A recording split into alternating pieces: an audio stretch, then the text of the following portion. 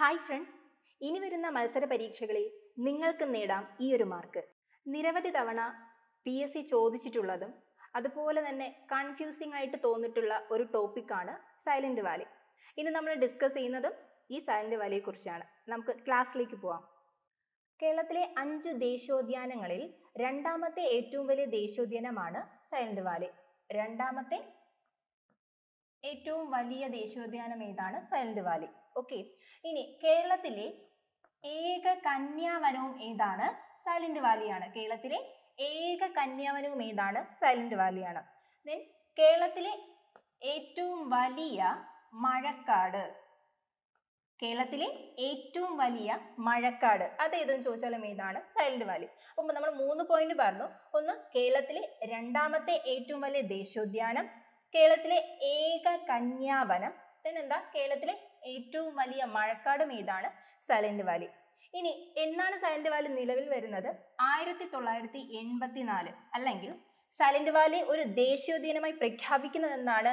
ആയിരത്തി തൊള്ളായിരത്തി എൺപത്തിനാല് ആരാണെന്ന് ചോദിച്ചാൽ ഇന്ദിരാഗാന്ധിയാണ് അപ്പോൾ സൈലന്റ് വാലിയെ ഒരു ദേശീയോദ്യാനമായി പ്രഖ്യാപിക്കുന്നത് ആരാണ്? ഇന്ദിരാഗാന്ധി ആയിരത്തി തൊള്ളായിരത്തി എൺപത്തി നാല് ഇനി എന്നാൽ ഈ സൈലന്റ് വാലി ദേശീയോദ്യാനം ഉദ്ഘാടനം നടന്നത് ആയിരത്തി തൊള്ളായിരത്തി എൺപത്തി അഞ്ച് സെപ്റ്റംബർ ഏഴിനാണ്.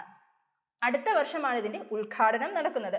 അത് ഉദ്ഘാടനം ചെയ്തത് രാജീവ് ഗാന്ധിയാണ്. ഓക്കെ?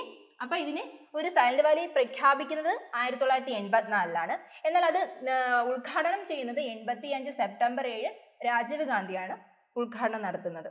ഓക്കെ ആണല്ലോ. അപ്പൊ നമുക്ക് ഒന്നുകൂടെ നോക്കാം. രണ്ടാമത്തെ ഏറ്റവും വലിയ ദേശീയോദ്യാനം കേരളത്തിലെ ഏക കന്യാവനം കേരളത്തിലെ ഏറ്റവും വലിയ മഴക്കാട് ഏത്? Silent Valley. ആയിരത്തി തൊള്ളായിരത്തി എൺപത്തിനാലിൽ ഇന്ദിരാഗാന്ധി അതൊരു ദേശീയോദ്യാനമായി പ്രഖ്യാപിക്കുന്നു. ദെൻ എൺപത്തിയഞ്ച് സെപ്റ്റംബർ ഏഴ് രാജീവ് ഗാന്ധി അതിനെ ഉദ്ഘാടനം ചെയ്യുന്നു. സൈലന്റ് വാലിയുടെ ആദ്യകാല നാമം സൈരന്ത്രി വനം എന്നാണ്.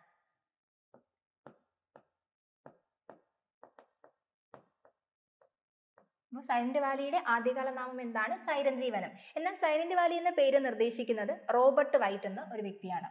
റോബർട്ട് വൈറ്റ് ആണ് സൈലന്റ് വാലിക്ക് സൈലന്റ് വാലി എന്ന പേര് നിർദ്ദേശിച്ചത്.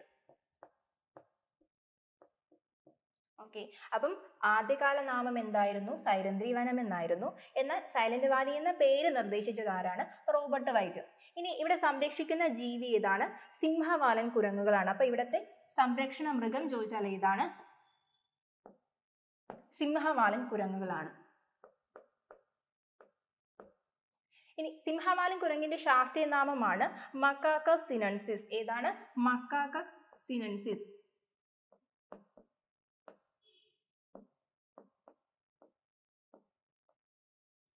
അപ്പോൾ സംരക്ഷണ മൃഗം സിംഹവാലൻ കുരങ്ങുകളാണ്.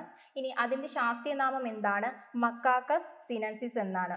ഇനി എന്തുകൊണ്ടാണ് ഈ സൈലന്റ് വാലി സിംഹവാലൻ കുരങ്ങുകൾ കാണാൻ കാരണം? വെടിപ്ലാവുകളുടെ സാന്നിധ്യമാണ്. അപ്പോൾ സിംഹവാലൻ കുരങ്ങുകൾ ഇവിടെ കാണാൻ കാരണം വെടിപ്ലാവുകളുടെ സാന്നിധ്യമാണ്.